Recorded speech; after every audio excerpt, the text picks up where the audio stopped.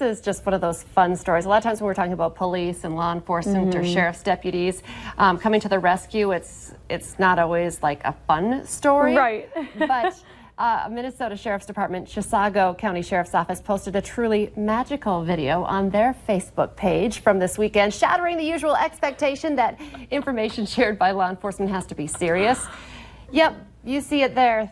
That's a unicorn. The video was posted to the Sheriff's Department's Twitter and Facebook page. It shows, there they are, these women trapped in a giant inflatable I unicorn. Love that. Uh, they were out on the lake when uh, weeds kind of got them stuck there, but the deputy comes yeah. to their rescue. He threw a line and reeled them back to safety, ending the rescue with cheers and laughter. And at first I was like, well, how come it can't move? And, and I don't know that I would want to jump into, if the weeds mm -mm. caught them like that, your feet yeah. would get all caught in that as well. I so. didn't really. I like how it come how like it shows how big that unicorn actually yeah, where, Really, the that real is ginormous. Is where do you find that? Yes, it's I huge, want that because they have a lot of room, and there's at least three women on there, right? I think so. Yeah, yeah I like how they try to use like paddles.